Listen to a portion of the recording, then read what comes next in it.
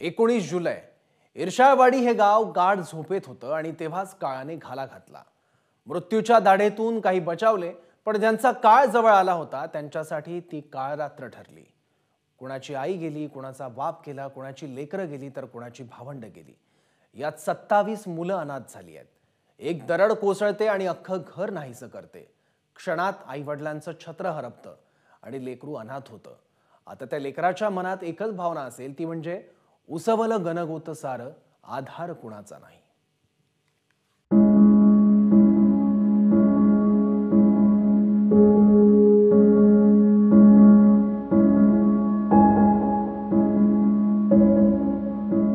ना आईच्या पदराची माया ना बापाची छत्रछाया अनाथ झाली लेकर आता अवघी दुःखाची छाया.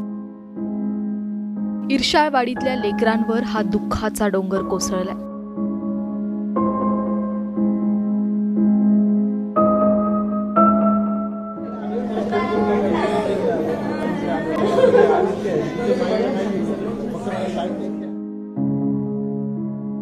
या चिमुरडींच्या बोलक्यातून आता कुठे आई बाबा हे शब्द फुटत होते?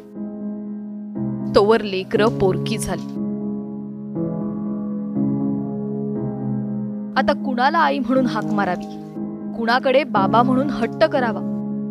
या लेकरांना नेमकं काय झालंय हे सुद्धा कळत नाहीये.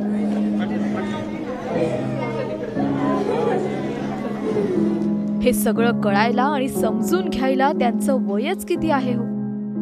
पण शेवटी वय कुठलंही असो आपला आईबाप या जगात नसणं हे पचवणं कुठल्याही वयात कठीणच.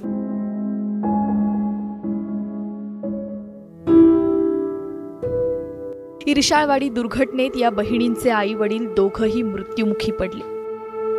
आता उरल्यात फक्त आई वडिलांच्या आठवणी.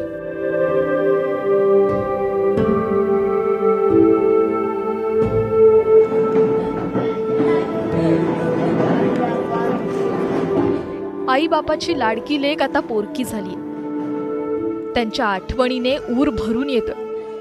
पोरीच्या डोळ्याचं पाणी सुटत नाहीये.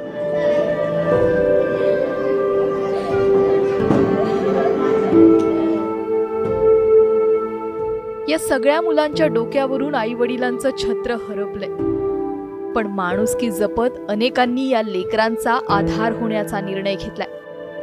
डॉक्टर श्रीकांत शिंदे फाउंडेशनकडून सर्व अनाथ मुलांना दत्तक घेतलं जाणार आहे. त्यांच्या उच्च शिक्षणापर्यंतचा खर्च ज्यांना नोकरी करायची आहे त्यांना नोकरी लावण्याचं आश्वासन आणि अल्पवयीन मुलींचं लग्न वेळेआधी होणार नाही याची दक्षता घेणार असल्याचा शब्द देण्यात आलाय. एकनाथजी शिंदे साहेबांच्या आदेशानुसार डॉक्टर श्रीकांत शिंदे फाउंडेशनच्या वतीनं आता ही जी एकोणीस मुलं आहे त्यांचं शैक्षणिक पालकत्व आणि पालनपोषणाची जबाबदारी ही घेण्यात येणार आहे. यामध्ये त्यांना एक विशिष्ट रकमेची एवढी येणाऱ्या काळामध्ये करून देण्यात येणार आहे. आणि त्या माध्यमातून येणाऱ्या काळात जी जी काही त्यांना शालेय उपयोगी वस्तू असतील किंवा जे जे काही त्यांना आवश्यक असतील त्या देखील गोष्टी येणाऱ्या काळामध्ये करण्यात येणार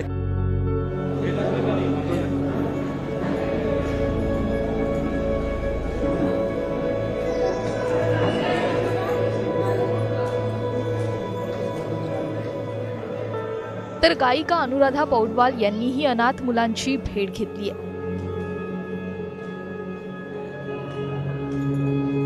ते बिचारे शॉकमध्ये आहेत ना ते काय बोलणार? पण हो आपण इतर लोकांनी म्हणजे पुढे येऊन मदतीचा हात त्यांना एक्सटेंड करावा ही माझी अपील आहे तुम्हाला तुम्हा सर्वांना. आणि माझं स्वतःचं फाउंडेशन माझ्याकडनं जे काय होऊ शकेल ते मी करायला तयार आहे.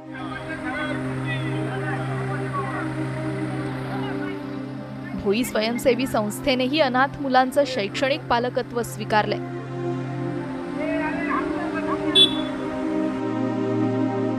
या दुर्घटनेत ज्यांचे आई वडील गेलेत जी मुलं अनाथ झालीत त्या मुलांचं शैक्षणिक पालकत्व कायमस्वरूपी भोई फाउंडेशन पुणे या संस्थेने म्हणजे पूर्णपणे. तुम्ही, शिक्षणाचा खर्च आम्ही करणार आहोत. म्हणजे त्या मुलांना इथे शिकायचं असेल त्या मुलांना पुण्यात येऊन शिकायचं असेल तर कायमस्वरूपी शैक्षणिक पालक होतो पुणेकरांच्या वतीने भोई फाउंडेशनने स्वीकार मुलं आहेत अशी ज्याची काही यादी मिळाली आमच्याकडे सहा मुलांची नावं आलेली आहेत.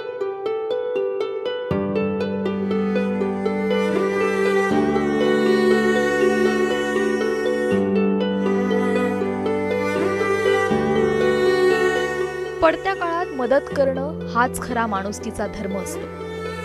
आणि हेच जाणून जे एम म्हात्रे ट्रस्टने इर्शाळवाडी दुर्घटनेतील अनाथ मुलांपैकी दहा मुलांना दत्तक घेण्याचा निर्णय घेतलाय. जवळजवळ सात ते आठ जणांना आम्ही ऑलरेडी सांगितलेलं आहे आणि त्यांचं शिक्षण असेल किंवा त्यांना इथे कुठे नोकरीसाठी असेल ऑलरेडी त्यांचे कुटुंबीय आमच्या इथे कामाला आहेतच. आणि तरी देखील आम्ही त्यांना सुद्धा घेण्याचं आश्वासन त्यांना नक्कीच दिलेलं आणि तसं आम्ही घेणार त्यांना.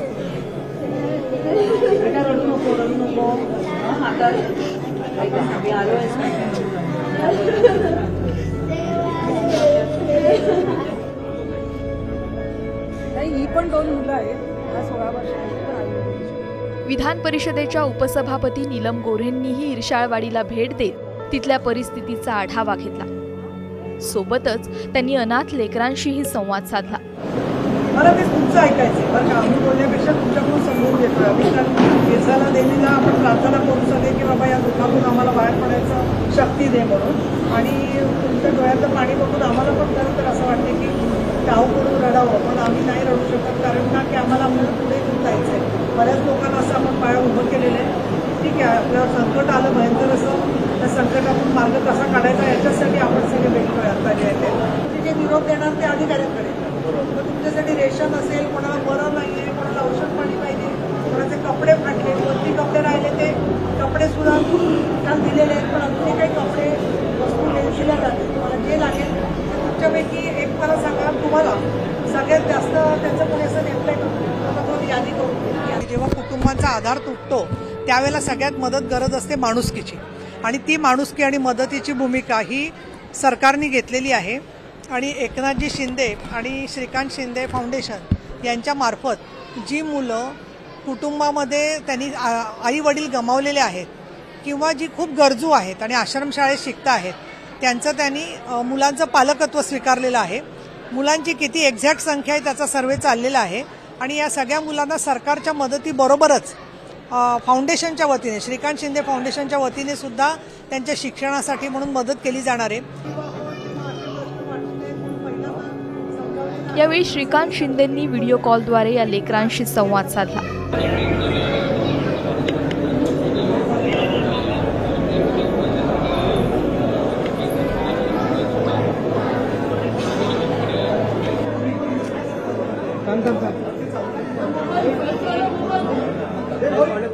तर उद्धव ठाकरेंनी सुद्धा या दुर्घटनेचा आढावा घेत इथल्या नागरिकांशी संवाद साधला.